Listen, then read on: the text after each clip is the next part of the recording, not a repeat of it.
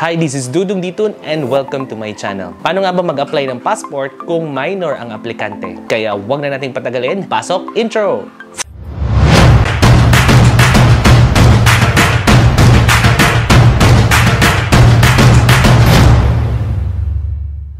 Itong content na to ay requested ng isang subscriber na ang pangalan ay si Mista. Totoo nga naman na talagang napakarami talagang nagtatanong kung paano talaga mag-apply kung ang aplikante ay isang minor. Kaya your wish is my command. Kaya simulan na natin. Una-una, sino-sino nga ba ang mga minor? Dalawang classification yon. First is 17 years old and below and then the other one is 7 years old and below. Pare-pareho lang din naman ng process kaya lang ang kaibahan ng below 7 years old is meron silang eligibility to use the courtesy lane. Ibig sabihin nun, pwede silang mag-walk-in at hindi nila kailangan mag-abang sa napakailap na schedule availability sa online appointment system.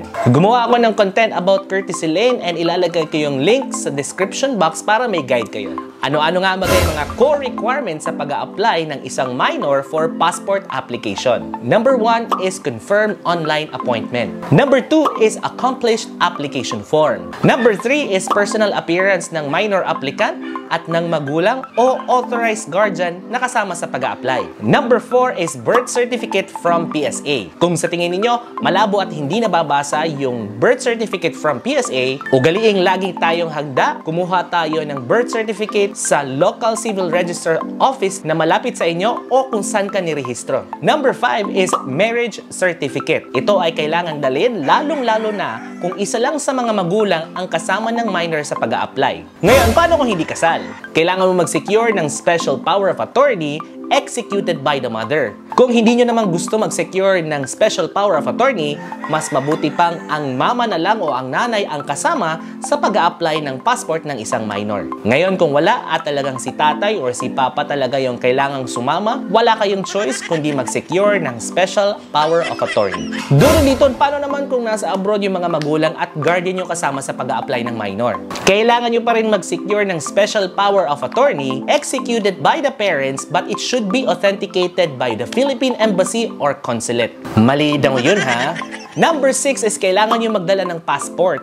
Ngayon kung walang passport, kailangan nyo magdala ng isang valid government-issued IDs na tinatanggap ni DFA. You may visit their website or you may also visit my channel kung ano-ano yung mga ID na tinatanggap ni DFA. Number 7 is school ID. You will also need to secure a certificate of enrollment na may dry seal ng school at kailangan nyo magdala ng 2x2 picture. Pero kung hindi naman talaga nag-aaral pa yung minor, pwedeng hindi naman magdala or magsabit ng school ID. So yun yung mga basic requirements for minor applicant. Matungo naman tayo sa Q&A. Duduliton, Paano naman kung less than 1 year old? Eh, wala pa naman silang birth certificate from PSA. Okay, makinig. Kapag isinilang sa Pilipinas, kailangan mong kumuha ng certified true copy from the local civil register ng birth certificate ng bata. Pero kailangan mo pa rin ipo-authenticate yon sa PSA. Meaning, kailangan mo pa rin talagang pumunta sa PSA para ma-authenticate yung certified true copy ng birth certificate mo from local civil registrar's office. Kapag isinilang naman sa abroad. Ang kailangan naman is original and photocopy of report of birth o